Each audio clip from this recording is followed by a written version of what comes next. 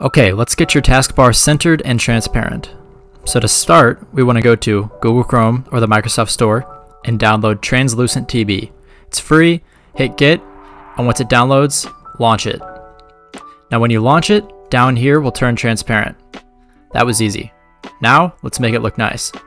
First thing you want to do is if, if you want your search bar to look like this, leave it like that, but if you want it to look a little bit better, go to show search icon. Easy enough. So now we look like this. We're going to right click one more time and we are going to go to toolbars and pull up links. So now that links are pulled up, all you're going to want to do, drag it all the way over, all the way over. Okay, see how this came all the way over here?